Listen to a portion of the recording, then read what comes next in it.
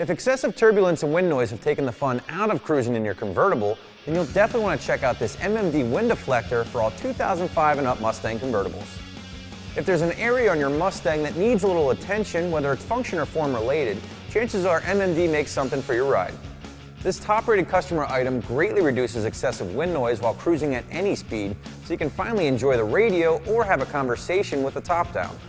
The MMD wind deflector's frame is made from ultra-strong lightweight aluminum that can easily withstand those highway speeds and then some without bending or collapsing.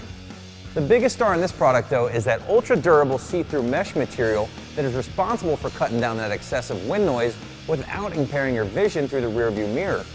Now a nice thing about this wind deflector is that it can remain in place even with the top up or be used in conjunction with aftermarket styling bars unlike some other products.